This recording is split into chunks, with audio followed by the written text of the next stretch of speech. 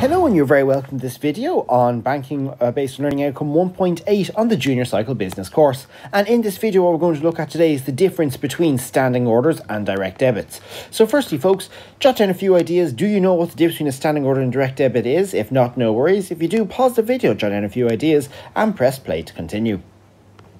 So, a standing order then is for a current account holder and it's a transfer of money from your bank account to another bank account.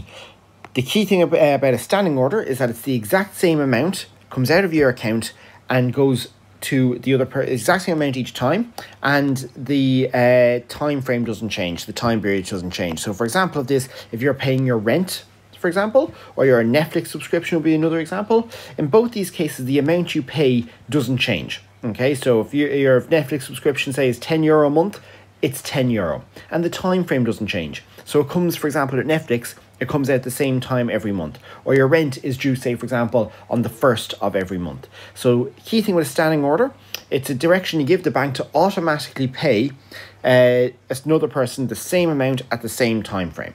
Okay. A direct debit, on the other hand, is similar in that it's also only open to current account holders and it's also an instruction to tell the bank to pay someone money to their bank account. The difference is in a direct debit, the amount can change and the time period can change. So, can you think of anything you might use that for?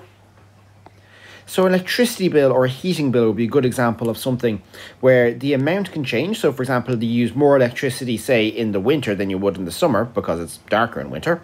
So the amount can change in each bill and the time can change slightly. So it may not be paid on, say, for example, the bill may not be due on the first day of every month, uh, but can be due at different times.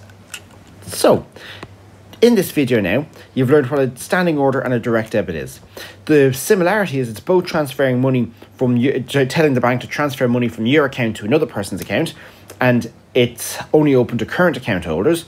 The difference is that standing orders at the same time and the same amount, whereas a direct debit is a different amount at a different time. They're the two, two key things you need to have in your definition. Hope you enjoyed this video, folks. If any questions, ask below in the comments. And if you enjoyed the video, why not give it a like? And of course, please subscribe to the channel. Thanks very much for watching now. Bye.